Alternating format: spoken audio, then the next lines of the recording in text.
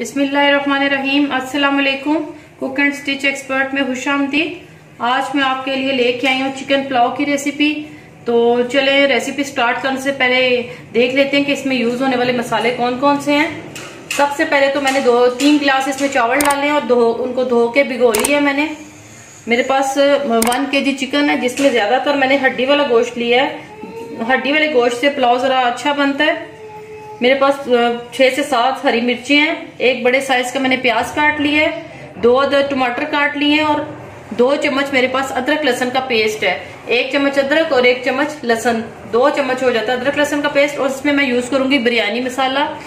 आप इसमें घर के मसाले भी यूज़ कर सकते हैं। तो चले रेसिपी की तरफ़ चलते हैं। सबसे पहले मैं हाफ़ कप ऑयल शामिल करूँगी।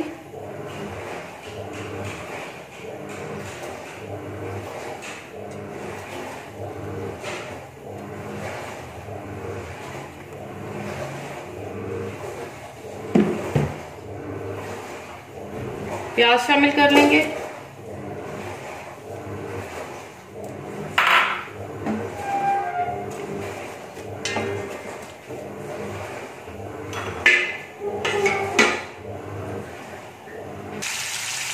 प्याज को ब्राउन कर लेंगे। इससे पहले मैंने, मेरे चैनल पे आपको यखनी पुलाव की रेसिपी मिलेगी आज मैं आपके साथ चिकन पुलाव, झटपट बनने वाला पुलाव जो वो शेयर करूँगी, जो हम रूटीन में हम घर में झटपट बना लेते हैं। प्याज को थोड़ा ब्राउन होने देंगे। यहाँ पे हमारा प्याज तकरीबन ब्राउन हो चुका है। अब हम इसमें अदरक लहसुन का पेस्ट शामिल करेंगे।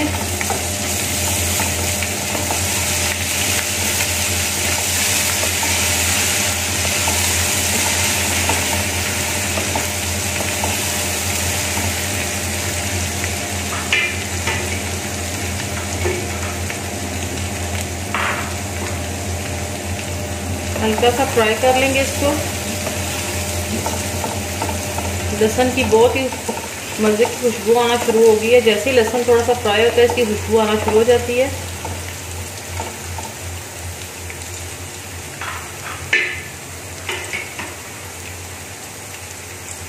अब इसमें हम चिकन शामिल कर देंगे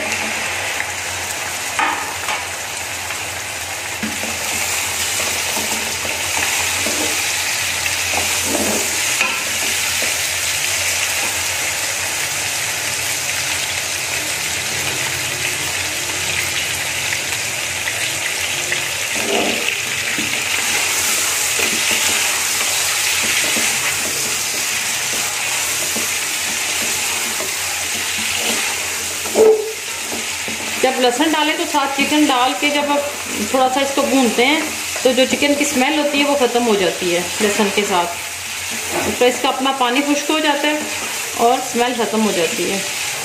और बड़े ही मज़े की खुशबू आना शुरू हो जाती है।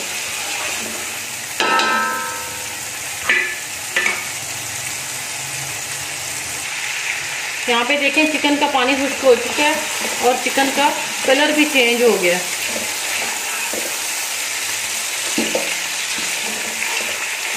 अब मैं इसमें टमाटर शामिल करूँगी।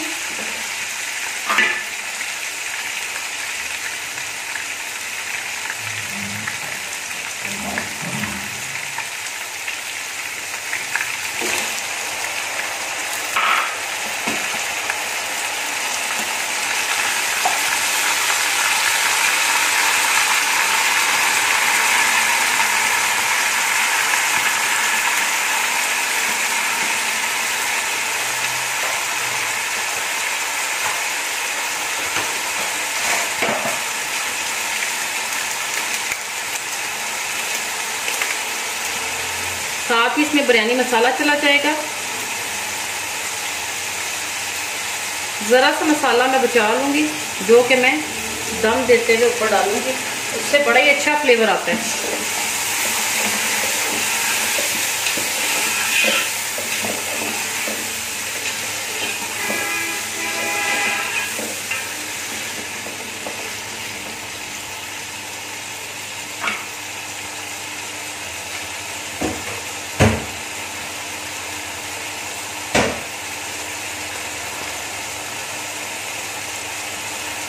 तकरीबन हाफ़ टी स्पून में इसमें चिली फ्लेक्स ऐड करूँगी।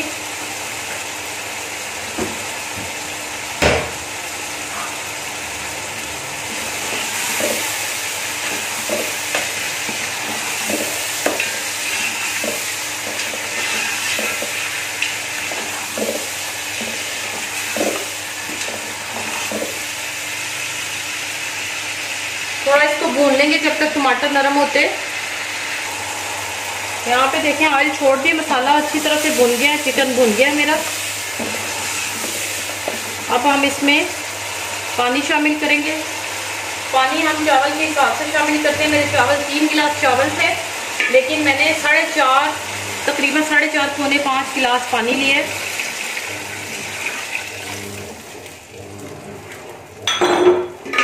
पानी कम रखने से आपके चावल ज़रा खिले खिले बनेंगे।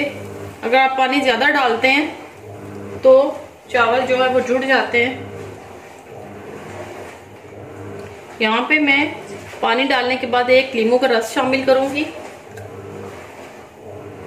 इससे जो है चावल जुड़ते नहीं है खिले खिले बनते हैं। अगर आपके पास लीमू नहीं है तो आप थोड़ा सा सिरका डाल लें। बॉयल आने देंगे, इसको डाल देंगे, बॉयल आने तक पकाएँगे और फिर चावल शामिल करेंगे। तो ये देखें यहाँ पे बॉयल आ गया। अब हम इसमें चावल ऐड करेंगे।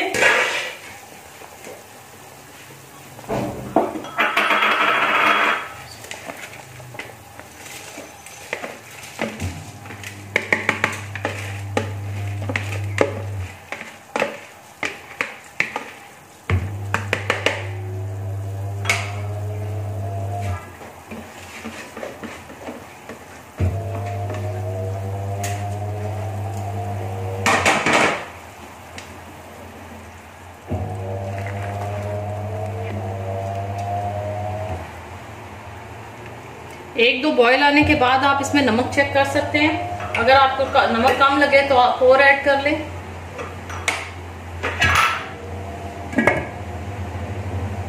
एक दो मिनट इसको बॉयल आने देंगे। तो ये देखिए, चावल यहाँ पे हमारे काफ़ी हद तक जो है वो पानी खुश्क हो चुका है।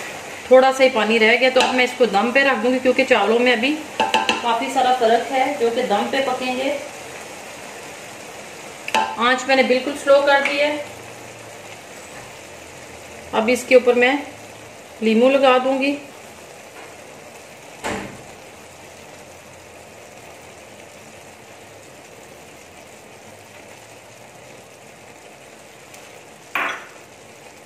ये जो हरी मिर्चें मैंने साबुत काट के इनमें कट लगा के रखी थी, ये शामिल कर लूँगी, क्योंकि मिर्चें मुझे खड़ी खड़ी पसंद है, पुलाव में।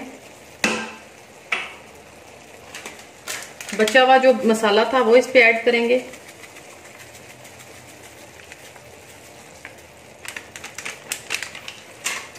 और अब इसको 10 मिनट के लिए मैं दम लगा दूँगी। 10 मिनट के बाद देखते हैं। तो वीवर्स 10 मिनट हो चुके हैं।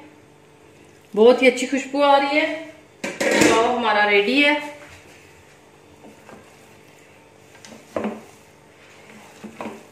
बहुत अच्छा पुलाव बन गया है। तो अब मैं इसको सर्व करके दिखाती हूँ आपको। तो चलिए सर्व करते हैं। तो वीवर्स ये हमारा जो प्ला, चिकन पुलाव था वो तैयार है। तो अगर आपको पसंद आए तो लाइक कीजिएगा कमेंट्स में ज़रूर बताइएगा। और जिन बहनों ने अभी तक मेरे चैनल को सब्सक्राइब नहीं किया वो मेरे चैनल को सब्सक्राइब करें। और बेल आइकन को प्रेस करना मत भूलिएगा ताकि मेरी आने वाली वीडियो आपको बर वक्त मिल सके। और मेरी वीडियो को जो है फुल वॉच कीजिएगा। बहुत शुक्रिया अल्लाह हाफिज़।